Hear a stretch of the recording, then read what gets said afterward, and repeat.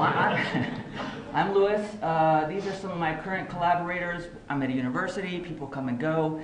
Uh, Jim Anderson is the lead investigator. Jeff Skousen helped with uh, the land reclamation part that I'll talk about at the end. Josh Cook is an undergraduate who's going to start his master's degree with me soon. And Andy Burgess is a project manager that sort of keeps us all on track.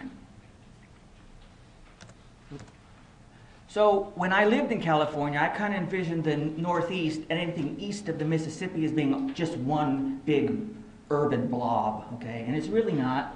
Uh, but I thought I'd give you just a little bit of geographic orientation first, okay? So uh, West Virginia is right here, the lovely state of West Virginia. We are in the Chesapeake watershed, Chesapeake Bay watershed. West Virginia is a very rural state, but it's not very agricultural. And all of our confined animal operations take place in what we call our eastern panhandle, which is this little section right here. I'm not so skilled with the laser wand. Okay, so this is the Chesapeake Bay. You've seen this picture many times. It's really a quite lovely place. Um, it's very beautiful, a wonderful place to visit, especially in the fall and the spring. Um, delicious seafood, and I mention this because a lot of your a fair chunk of your tax dollars are going to try and clean up the bay. And if no one has said so before, thank you for that. Okay? I, I mean, it really is a national treasure. I've had the good fortune to live in a lot of very beautiful places, and the Chesapeake is among them. Okay? And so I'm not saying that there aren't other good places worth protecting and, and trying to get back to uh, into good condition, but the Chesapeake is really something special. And when you come visit, if you make it down to DC, all the museums are free. Okay? The Chesapeake does have its problems. Not all of those are related to agriculture. I mean, it's a very dense metropolis, and more people keep moving into the region every year. That creates a huge set of problems. Uh, there's a wastewater treatment problem, especially in the District of Columbia. Uh, kind of an outdated system that really can't handle the, the water flows that they get. But some of it is related to agriculture. And some estimates are that 45, 50% of the pollutant load to the bay is from agriculture. And we can argue about the numbers, but what I don't think anyone would argue is that some way or another, we've got to figure out a way to get some of those nutrients out of the bay watershed. Okay? So here's our map again, now just of West Virginia. So again, this is Three Rivers, so that's Pittsburgh, um, Ohio, Pennsylvania, Virginia down here. DC is over here somewhere. This is our poultry producing area right here. So we have this continuous flow of grain from the west to this little, relatively small area where our confined animal operations are. And it's because of the properties of litter that we all know and have come to love, it's just simply too expensive to ship it back across these mountains here. Okay? So what that has done is in this in our small state created a phosphorus divide that runs right along that mountain chain. On the east side of that mountain chain, those soils consistently test two, three, four, ten times higher phosphorus than would be recommended agronomically. On the west side, we have soils that consistently test in the low to medium soil test category. So the, it's needed on the west side in an excess on the east side. And that creates this imbalance that we are all sort of here to talk about this week. So, all right. So I am one part of a group called the Environmental Research Center at WVU that's working on a variety of pollution related issues in the mid Atlantic highlands. Okay? One of which is nutrient loading to the bay. And our concept is that if we can take poultry litter, which is now an environmental liability, and create a beneficial product, in this particular case, poultry litter biochar, that we might be able to take what is now a liability and turn it into what is an asset. Okay? And so what our objectives really are to try and find beneficial reuses for poultry litter biochar. This is our cooperator. He's a commercial poultry farmer in the panhandle. Um, he produces lots of birds. He has a really lovely covered storage shed. I've only seen one in person. It, seems pretty nice to me. This is his gasifier down here. It's, it's probably too large for his operation, um, which creates some issues.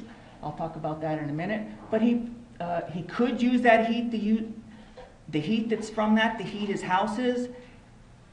It's not clear to me how often that is actually happening, but he does produce biochar, okay? And our task is to see if we can't do something with that biochar to make it an asset, making it a little bit more likely that we can ship it to the side of our state or other regions that are low in phosphorus.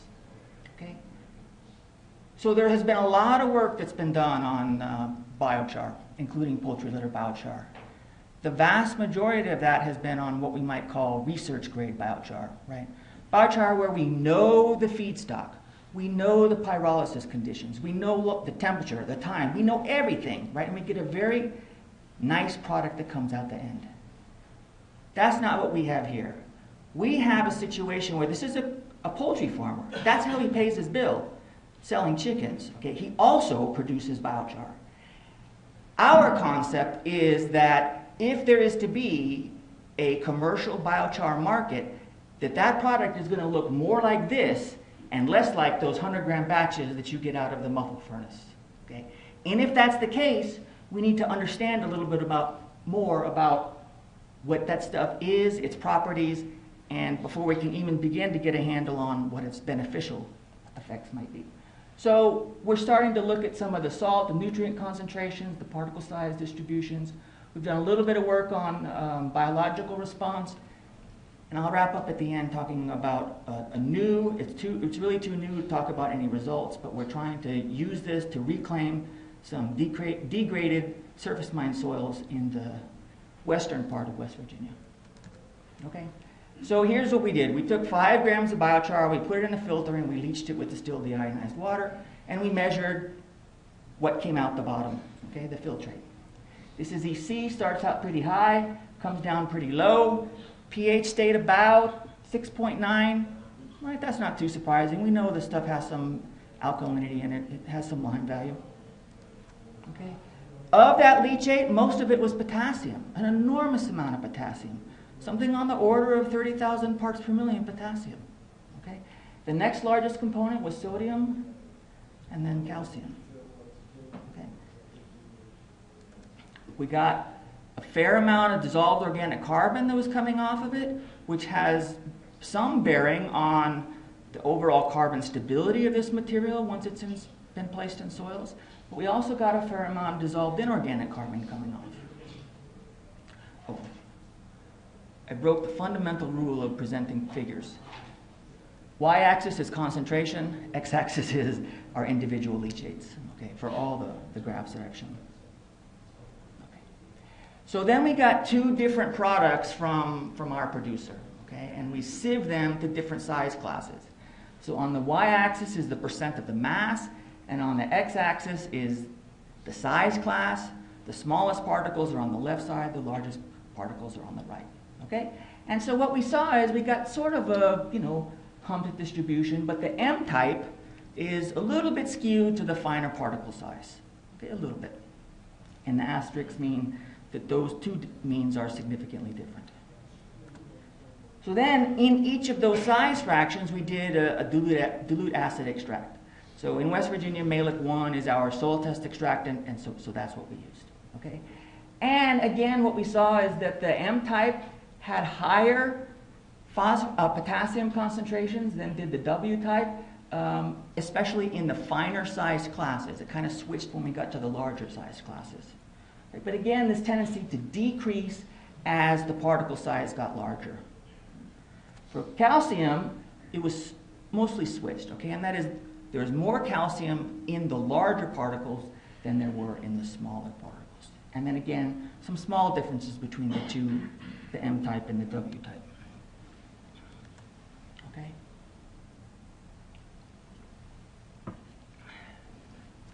So you would think with all the salt that there might be a germination problem.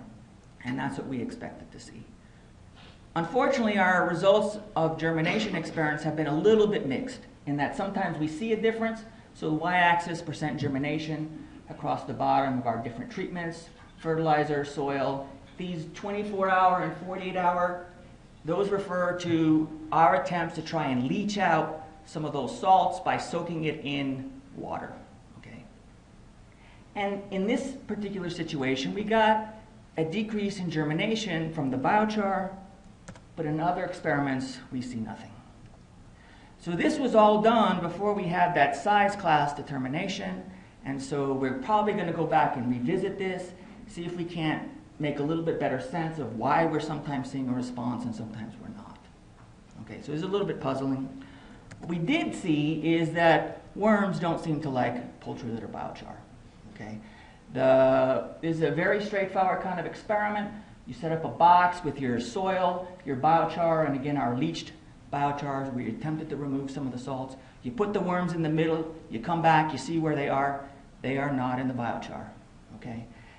So this looks pretty straightforward. It's, it's entirely possible that the experimental design here sort of skews the results that we're getting, and we hate that. And so we're also going to try and revisit this to make sure that what we're seeing is, in fact, the response of the worms to the biochar and not necessarily of the way we set up the experiment. Okay. So then, one project that we just finished up last semester a horticulture student helped me with this, is we used the biochar as a substitute medium for greenhouse cyclamen production. Do you recognize this plant? It's often sold around Christmas time. Okay, so um, we compared growth as measured by the number of leaves across time for the control, which is the industry standard, with the green dots, uh, triangles, which are the biochar treatment. And the biochar was added roughly to substitute for the lime require the lime that would be needed in that commercial mix. Okay? And what you see is that the biochar treated plots were a little bit slow to start off. Okay? They're well below the control in the four to six week range. But by the end of the experiment, when these plants are ready to sell, there's no difference in the number of leaves. Okay? There's no difference in the basic size. So this is kind of encouraging, right? So one explanation for why this is happening is, you know, you've got this commercial mix, right? We all know that that drains really well. That's why the horticulture people use it. And so as they water this material with the biochar, once what we think is happening is once most of the salts have been leached out, then the plants can start doing their normal business and then they quickly catch up because the biochar does have a fair amount of nutrients in it. Okay. The last thing I want to talk about, and you guys are going to love me because I never use all my time. Okay? So we're trying to uh, reclaim some surface mine soils. Uh, fortunately, it's very close to Morgantown. And so this is our site right here. Everything above, north of, well, let me put it this way. Everything that doesn't look like it's a mature tree was surface mined. You may have heard that called strip mining. That's not the uh, politically correct way anymore. We call it surface mining, okay? And this mine would have gone for miles north. So this is a large surface mined out complex. And as part of this company's post mining land use, they donated this back to a group that has built softball fields, and there's an equine facility, and there are soccer fields, and that's where we have our balloon festival, and so just a variety of things that are wonderful for us because it's flat, right? We're not used to such flat ground like you guys have out here. I mean, it's shocking to me. you can see it all the way across. Um, so this is our site right here, and what we're doing is we've planted miscanthus and switchgrass. And to me, I that has a nice sort of symmetry to it, right? So we've taken poultry litter, we've used it to make energy and a byproduct, the byproduct is then being used to improve a soil to produce another bioenergy crop. Okay, I like symmetry. So this is our switchgrass and miscanthus a couple months after we had it in. We put it in last spring, so we're just coming through our first winter. Um, this was in the late spring, early fall. Uh, if you have any experience with these kinds of, um, with miscanthus or switchgrass, they are very, very slow to establish. And so when you look at the experiment now, it's not much to look at, um, but in a couple years, we fully expect the switchgrass and the biochar to completely dominate the vegetation in these plots. Okay? So in summary, there is a need to move nutrients out of the Chesapeake Bay watershed. It's possible that poultry litter biochar is one of the tools that could be used to do that. If we can find beneficial reuses for that project, for that product. And that's what we're trying to do. We're trying to find beneficial reuses for poultry litter biochar to ma- make it more econo- economical to ship it over that phosphorus divide. Okay? Okay, questions from Louis? The consistency of the product that's produced, that's one of the things that I've seen through biochar is that you can produce it from a farm on one day and get one product and do it the same farm uh, and get a different product. What, what what are you finding for consistency? Can you make it so I'm not recorded anymore? No, you can't do that? Um. Just stay right there. Okay. Um, so our biochar producer is, he's a really clever guy and was kind of an early adopter in this process. And so I don't want to say anything at all bad about him, okay? Uh, he's invested a lot of his own money, a lot of your money too, but a lot of his own money to try and get this going. Very, he tells us if he can produce a consistent batch from time to time. The M type and the W type, those are his designations for medium rare and well done. so I, I asked him, can you produce us another batch of medium rare? And he says, absolutely. I have yet to see that that's the case. I don't know that he can't. I'm just saying I don't know that he can either. But it is a problem, and I thought it was just us until I was talking with a friend of mine who's working with a, a wood-based biochar product from a commercial operation, and he said they have the same variability problems too. Yeah, I would just build on that. I've got five years of experience with um, turkey litter gasification attempts. Um, It's now operating commercially, but um, it's all about material handling. You know, raw poultry litter handles differently, and how much energy you put into it, how much work it sees, is gonna change the reality, the porosity of that material. And the porosity of that material entering the thermochemical process, be it pyrolysis or gasification, is gonna change the nature, how it burns, the distribution of heat in the process, which is going to change the nature of the char coming out. Now, on a gross average chemical analysis standpoint, one ton might look like on average, sort of like another ton.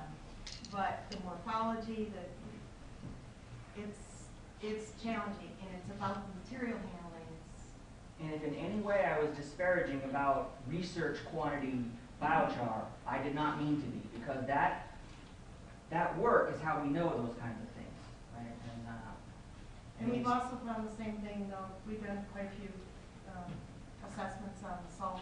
The same The thing. salt is a difficult thing to manage, I'm not sure what we're gonna do. So far, is the producer just stockpiling it until he figures out to use what's, Um, he apparently is being, is pretty successful at selling it. Uh, in fact, he wants to sell it to us, uh, and not necessarily for a very good price. Um, but he has no trouble getting rid of it. they're taking it for reclamation work? No, they're just using it as fertilizer and other parts, but it's staying in the watershed, we're not yet shipping it over. kind of weight reduction can you get? I mean, if, if the bottom line is we need to ship this across the divide, uh, how much cheaper is it gonna be to ship the char than it would have been to ship the litter? I don't think there's any question it's cheaper to ship the biochar. It's a little bit nutri, more nutrient dense, it's dry. The fact that it's dry is kind of, um, it's very dusty, it's very yucky. And so one of the things, it's very hard to handle, and so one of the things that happens when you try and leach it, you don't just lose the salts, you lose those very fine particles too. Um, and that has, is gonna have an effect on what the nutrient value of that material is as well.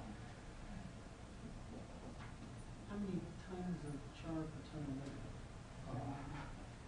Uh, does somebody know that number? I, I surely don't. It's gonna be, It's probably about half, I think. I mean, the analysis on tar is about double what the analysis on poultry litter is. Nothing out there. So the thirty-three two is six six four. I'm looking at the weight, not the. Tonnage, tonnage wise, um, if it were all